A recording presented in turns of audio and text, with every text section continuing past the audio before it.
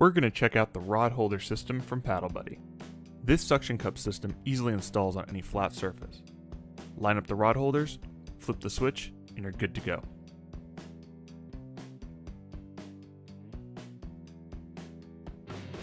This rod holder frees up your hands and keeps your fishing rod out of the way for launching, throwing cast nets, and of course, paddling.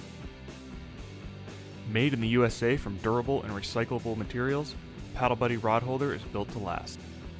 And when you leave the water, just flip the latch, lift the suction cup tab, and you're done. As always, don't forget to rinse your gear with fresh water if you're coming out of the salt. Thanks for taking the time to check out the rod holder from Paddle Buddy. If you have any questions, leave a comment below or visit us at paddleaccessories.com. We're always happy to chat.